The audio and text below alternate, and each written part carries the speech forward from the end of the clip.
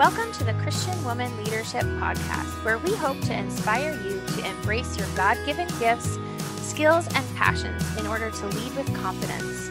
We want you to remember that you are fearfully and wonderfully made in the image of God, and you are fully loved by Him. You have been designed on purpose by God with unique gifts and passions in order to love and lead those around you. I'm your host, Esther Littlefield, a pastor's wife, business owner, mom, and writer. And I'm Esther's co host, Holly Kane. I'm a wife, mom, and business owner. I also write at hollykane.org, where I focus on my passion for women's ministry. Together, we chat about important issues that Christian women leaders face. In addition, we interview other women just like you who lead in various roles from church to community to business. Through this podcast, we offer you encouragement, tools, and resources to help you on your leadership journey. We are so glad you're here with us. Hi, friend, Esther here, and today I'm coming to you for another solo episode. I'm going to share with you about the journey to becoming a confident leader. And I'm hoping that by talking about the stages of confident leadership that I mentioned in the last episode, that you will have a better idea of what this means, but also how to move forward. Now, a little bit of a personal update before we jump in. I have been sick for the past few weeks, and you might notice that my voice is not the greatest, but it's Sunday afternoon and the podcast comes out on Tuesday, and I really need to record. So I just want to share that in case I sound different. I'm going to do my best to record this in one take since my editor is not going to be able to edit this one for me. All right, so we've got that personal update out of the way, and I want to jump right into our topic today of the confident leader journey. To get us started, I want to invite you to go back in time with me to the very first time that I performed on stage. I sat down at the piano and nervously adjusted the music in front of me. My piano teacher stood near me for support, while the principal sat near the middle of the stage.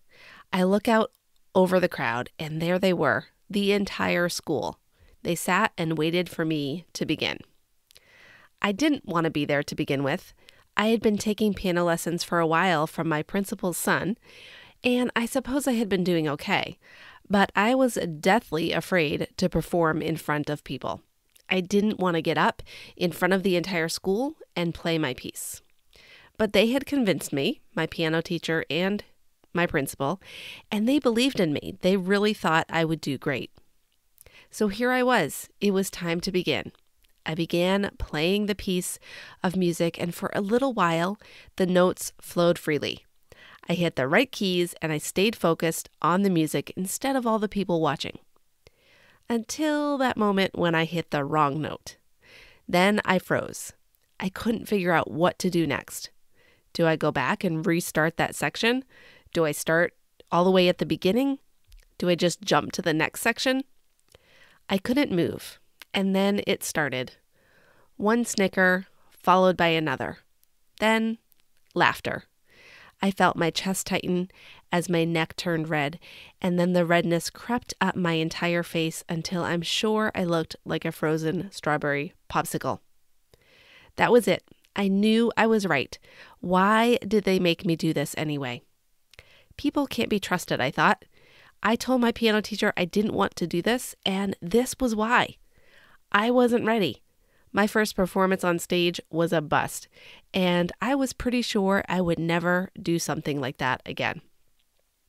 And my friends, well, they sat right there with everyone else, laughing right along with them. Maybe they thought I was a loser, just like I thought I was. I made the decision that day to never put myself in that position again. I didn't want to be on stage. I didn't want to be up in front of people. And don't you dare ask me to speak in front of others. But somehow, God kept putting me in situations where I needed to be in front of people, where I had to be brave even if I didn't feel confident. The next time I remember being on stage, it was my eighth grade graduation. It was just two months after my dad had been killed in a tragic car accident. And now I had to get up in front of not just my classmates, but all of their family and friends. And I had to give a speech. That one went only slightly better than the first attempt at stage performance. I didn't freeze up and completely bail on the speech, but I did have to stand on a stool behind the podium because I'm so short, and my legs shook the entire time. It was scary, but I survived. Now, maybe you have had similar experiences. Growing up, maybe there were times when you felt completely unqualified to do what you were doing, or maybe you messed up and completely embar- embarrassed yourself. Everyone stared at you because you said or did the wrong thing at the wrong time. Tell me I am not alone. but maybe you are still dealing with some of those feelings today. Maybe you still feel like your voice doesn't matter, or that if you share your thoughts, someone will laugh and make fun of you. Maybe you walk into a room and you automatically feel like an outsider because you don't have that tribe, or your clothes aren't cool enough, or you just feel different from everyone else in the room. Perhaps you have thought about trying something new, but the fear of what will happen grips you and holds you back from jumping in. What is this about, my friends? Why do we struggle with this from childhood and carry it into our adult years? Well, there's a few names for it, and I'm sure you've heard these things before. Some of us call it insecurity. We might say it's a lack of self esteem, self doubt, fear, uncertainty, or a lack of confidence. What I'm concerned about is what happens when we live in this place, when we decide we are stuck and there's nothing we can do, and things won't probably ever change. What happens when we stay in this place? Well, you don't say hi to the new neighbor because you're not sure what she will think. Maybe she already has a bunch of friends and she has no interest in getting to know you you don't start that blog that you've been thinking about because people think, because people might think you're a bad writer. You don't invite that new family at church over to your house for lunch because you're worried that your house is too small or too messy. Now, perhaps you're listening to this podcast and you're thinking, I've never felt that way. If that's the case, awesome. And you're welcome to turn off this episode right now. But if you have ever felt these things or experienced anything that I've mentioned, I want you to know you're in good company. And I'm really hoping that today's conversation will encourage you and also give you something that you can apply and help you move forward in this journey of being a confident leader. Because here's what I can tell you despite my personality and my early experiences as a shy, insecure child, and I can assure you that that example I shared is just one small example of my childhood experiences. God has brought me on an incredible journey of becoming a leader. And it's really actually hard to believe that He's allowed me to do the things that He has set before me. God has given me opportunities to lead Bible studies and small groups, to speak at and lead marriage retreats with my husband, to speak on stage with my husband at church, to speak at women's events, and even start this podcast where I get to connect with you. And that last one, quite honestly, is one of my most favorite things I have ever been able to do. But more than all of those things that I've been able to do on the outside, what's more important is what God has done on the inside. You see, God has given me confidence, and that confidence is what has enabled me to take some of these bigger, scarier steps. And I believe He can give you confidence too. But it doesn't happen overnight. And it doesn't happen by taking some magic pill or just believing in yourself more or saying the right mantras or reading the right books. Confidence comes, I believe, as a result of surrendering to God's truth and then walking in that truth and taking action based on that truth.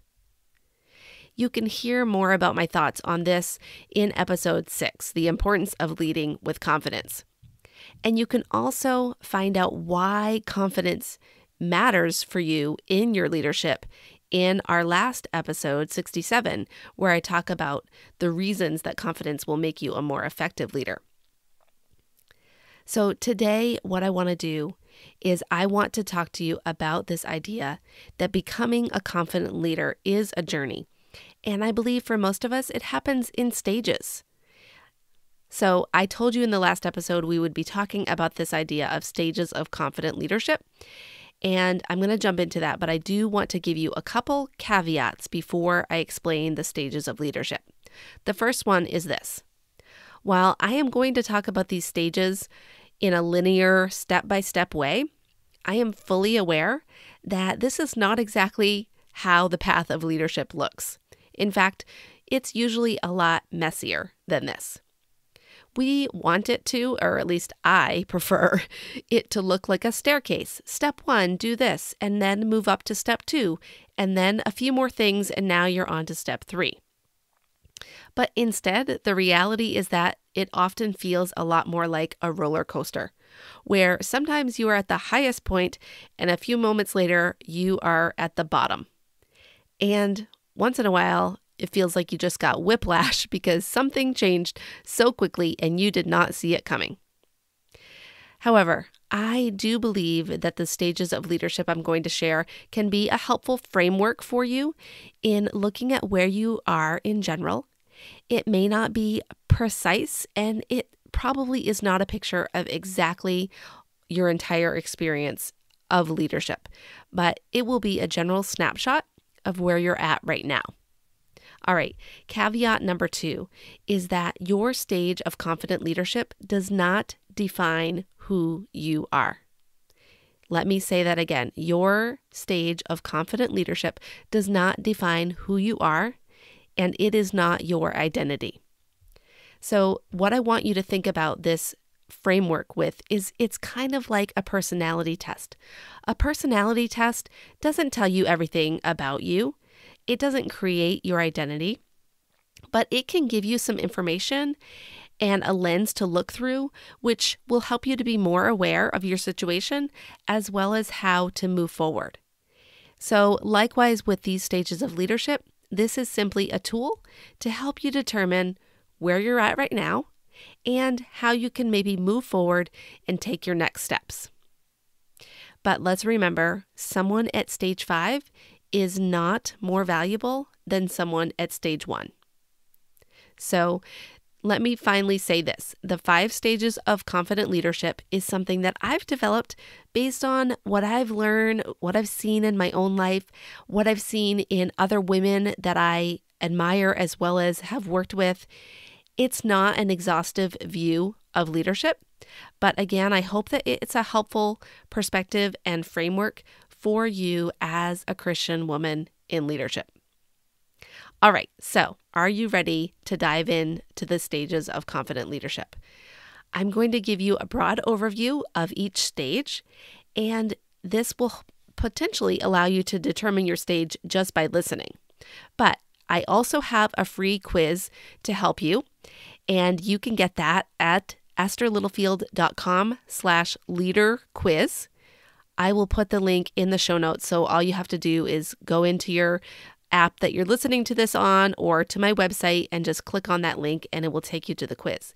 This will give you your results and it will also give you a suggested next step. And if you put your email in at the end, I will send you a full email with your stage and some bonus next steps for you, as well as a PDF download to show you the five stages. Okay, so let's go ahead and jump in to stage one. Stage one is the reluctant leader. I have come up with names for each of these stages just so it sounds like we're talking about a real person, but just so you know, these are completely fictional, made up people. All right, we're going to call this one Reluctant Rebecca. Rebecca struggles to believe that she can even be a leader. She might be like Lori Wilhite in episode 66, where she is actually in a leadership role, but she's not sure she wants that title. Rebecca isn't always sure of God's love for her, and she's not sure if He has a purpose for her life. She might not think that anyone is actually following her or that she has any kind of influence. Rebecca also isn't super aware of her personality, her strengths, or her gifts, or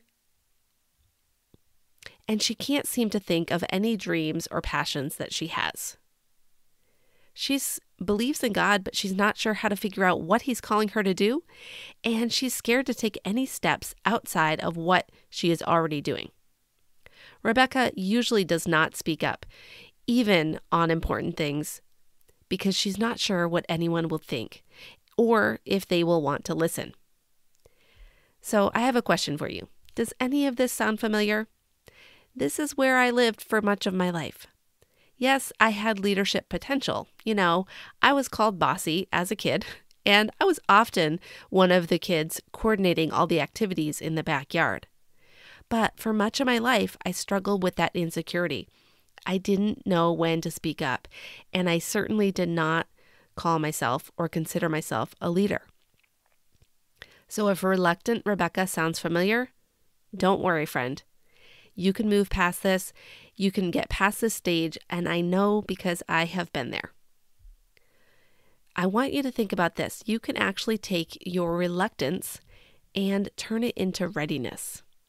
So I want you to start by really digging into God's Word and seeking to understand what He says about Himself and about His love for you. All right, so let's go on to stage two. This is the hesitant leader. We're going to call this gal Hesitant Hannah. So Hannah wants to be a leader, but she has no idea where to begin. She knows God loves her, but she struggles to remember this from, from time to time. And she wants to follow his leading, but she really hasn't figured out how to listen to his voice. Hannah knows she has a purpose and gifts, but she hasn't really figured out how to discern what they are. She also realizes that her personality plays a role in her leadership, but she hasn't gotten clear on who she is and how to use that knowledge to better serve others. Hannah believes that she may have some influence over others in her life, but she's not really sure the best way to connect with those people or to make a difference for them. Hannah does want to take steps towards what God has for her, but she's feeling pretty nervous about it. She often has ideas and thoughts she wants to share, but she struggles to speak up and communicate them. Maybe this stage is resonating with you right now. If so, that's awesome. It means you're ready to step into the role of leader. You can take that hesitance and turn it into hope. Okay, let's go on to stage three. Stage three is what I'm calling an active leader, and we're going to call this woman Active Abby. So, Abby is a leader, but she doesn't always feel confident. She knows God loves her and she rests in that love some of the time, but she still struggles with fighting off the lies once in a while. Abby knows that she has some people following her and she's doing her best to learn how to lead them well. She's starting to get clear on her purpose and she's in the midst of uncovering her gifts and strengths, although she isn't fully using them yet. Abby has started to understand how she is wired and the impact that this can make on her leadership.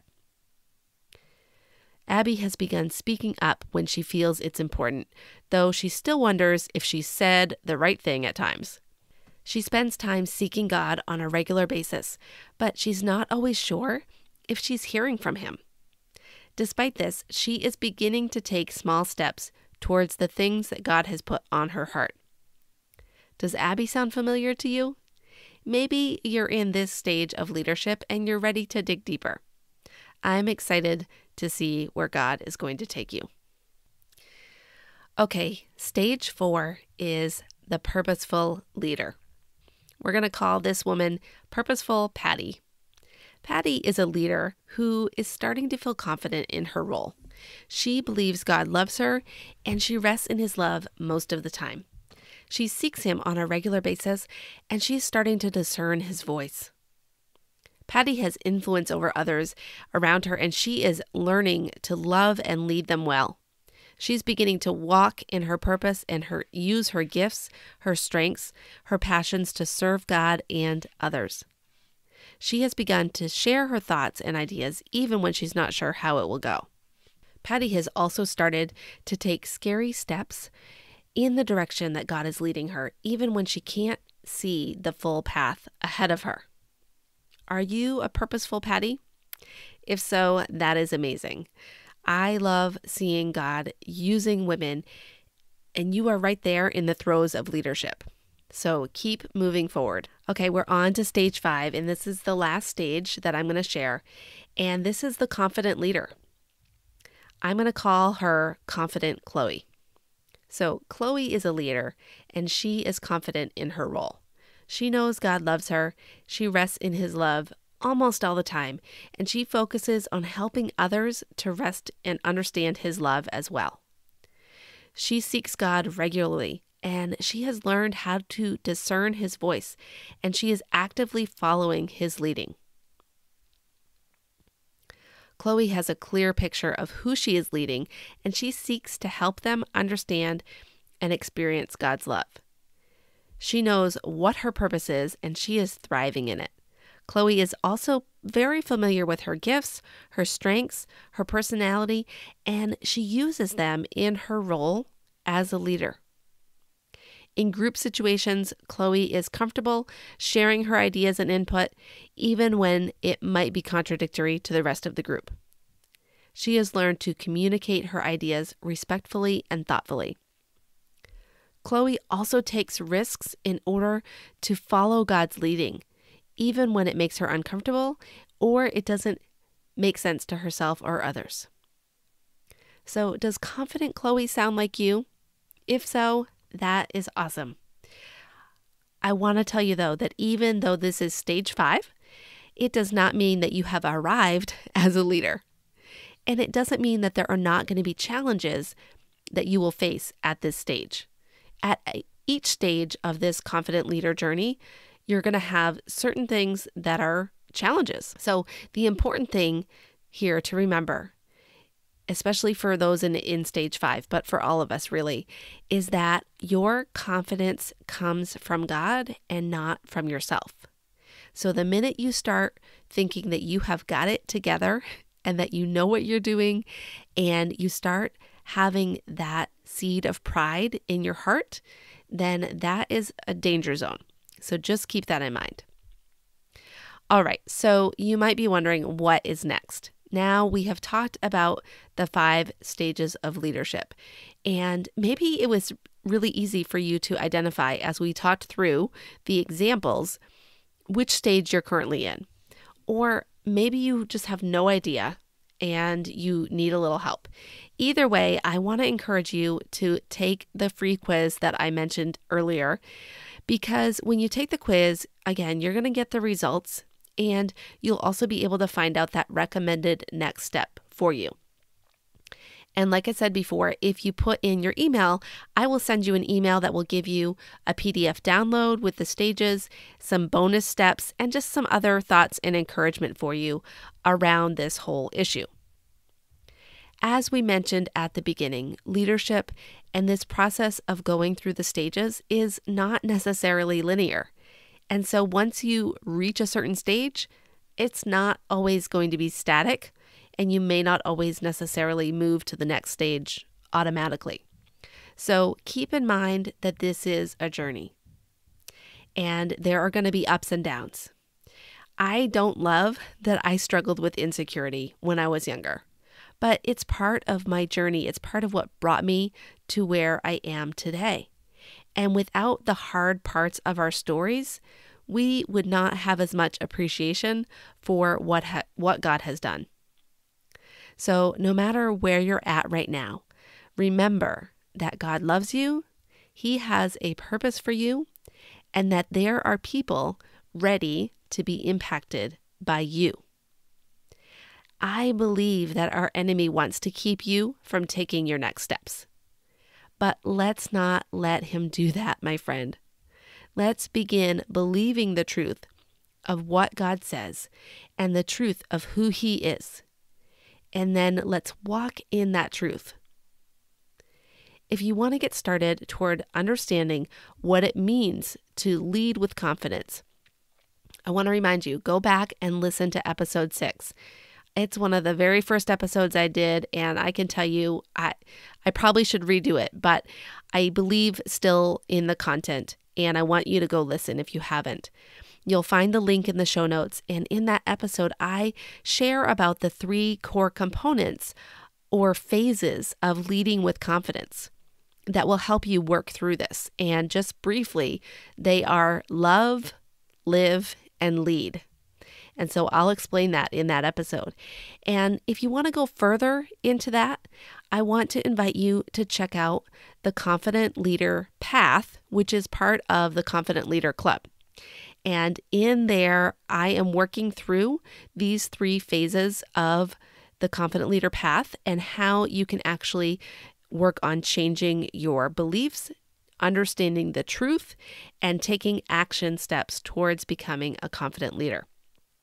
And of course, within the club, we also have support for women at all stage of leadership. So I would love to, for you to come check it out. Um, if it's not open currently, get on the wait list so that you can join us the next time we open the doors.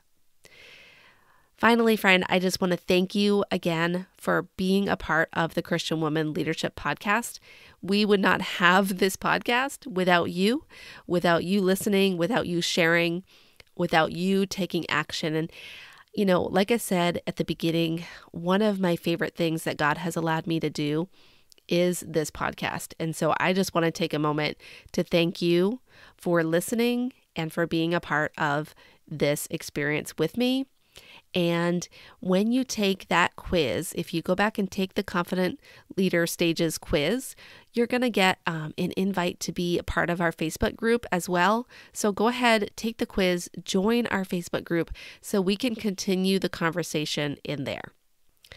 All right, friend, thank you for listening to this episode. If you would like the show notes and the links to everything I discussed in this episode, head over to estherlittlefield.com slash episode 68.